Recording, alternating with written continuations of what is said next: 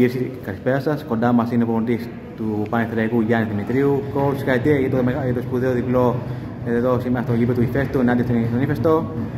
8 παιχνίδια έτη σερή. Θα ήθελα να σχολείο το μάτς.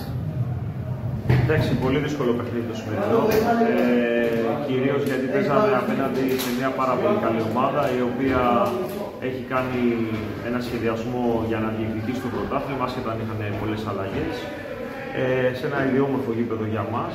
Ε, και όπως εξελίχθηκε το παιχνίδι, πιστεύω ότι δικαιούμασταν την νίκη. Ε, Παρ' όλα αυτά δεν ήμασταν τόσο καλοί, δεν κάναμε καλό παιχνίδι, ειδικά στο, στο δεύτερο επίχρονο δεν μας βοήθησε ο καιρός, είχαμε και κάποια μικροπροβληματάκια. Αλλά ξέρετε, εδώ που έχουμε φτάσει, ακόμα και στα άσχημα παιχνίδια, στα μέτρια παιχνίδια, αυτό που μετράνε είναι οι τρεις βαθμοί.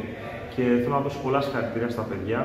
Είμαι πολύ περήφανος που συνεργάζομαι με αυτά τα παιδιά, γιατί πραγματικά σήμερα δείξανε χαρακτήρα ε, σε μια δύσκολη έδρα, δείξανε προσωπικότητα και πετύχαμε το σκοπό που ήταν να φύγουμε από εδώ με, με τους τρεις βαθμούς.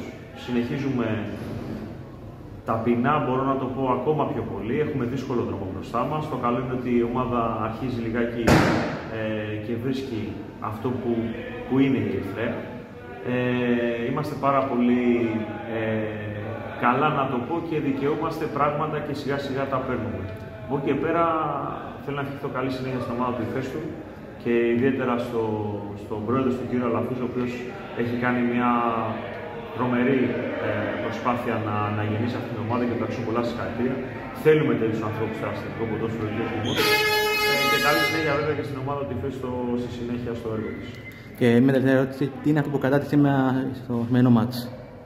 Τι κρατάω κρατάω τη διάθεση, τη συγκέντρωση των παιδιών. Ε, ήμασταν πολύ συγκεντρωμένοι στο πλάνο. Θέλαμε να κλείσουμε χώρους. Ξέραμε ότι έχουν δύο καταπληκτικούς παίκτες, το Σκούμα και τον Λάγκα, που για μένα είναι από τα καλύτερα εξτρέμ της κατηγορίας.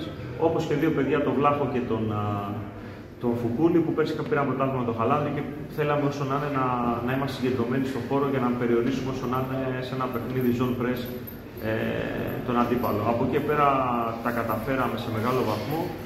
Ε, και κρατάω αυτό, ότι τα παιδιά μείναμε συλλογμένα στο πλάνο.